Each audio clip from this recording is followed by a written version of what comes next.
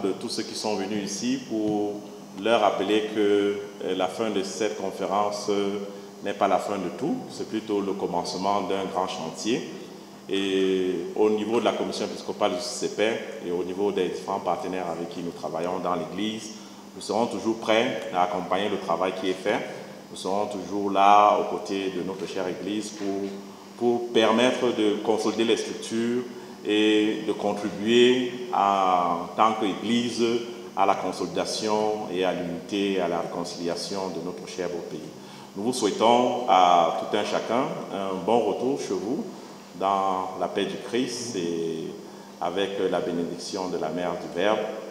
Nous espérons vous avoir dans les différents ateliers et dans les différents séminaires et différentes activités que nous allons organiser en fonction de la feuille de route que nous avons eue aujourd'hui. Nous vous remercions une fois de plus d'être venus et d'avoir passé trois jours avec nous.